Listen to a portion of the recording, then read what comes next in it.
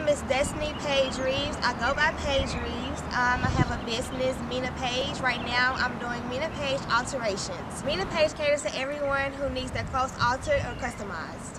What I do within my business is taking old things and making it new. Um, recreating clothes for people and also also doing alterations for their custom needs. I've been sewing since I was in about um, ninth grade.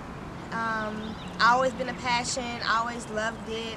Um, got to college, majoring in fashion, of course, and I had this idea with my friend, and uh, we both decided that we would consider doing alterations for people on campus because we, people always asked us like. Um, can we fix this? Can we do that? So we took it right on. We turned into a business, two hands, one garment. Shout out to Desiree.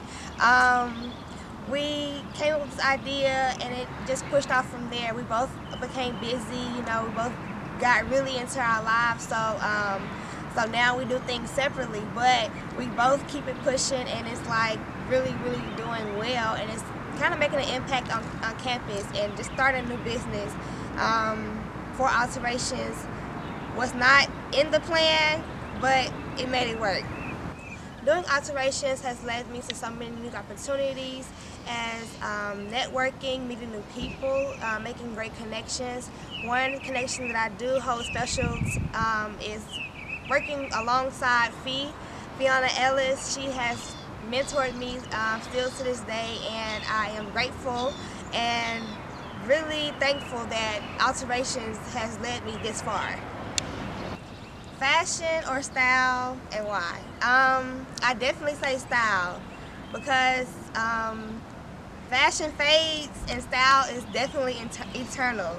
Um, style will never go away because it's, it's how you do it. So style, definitely style. Time management has played a major role in my life. Um, I've learned to adjust very, very well. Holding my business as a top priority as well as one of the top priorities in my life.